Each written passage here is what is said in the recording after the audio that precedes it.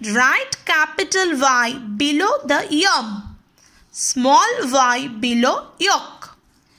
This is yum. So we have to write capital letter Y. This is yolk. So we have to write small letter y. This is yum.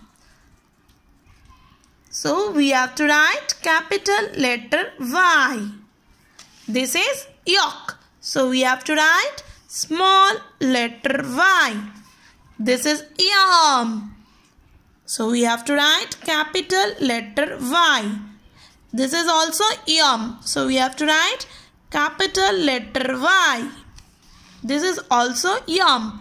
So you have to write capital letter Y. This is yolk.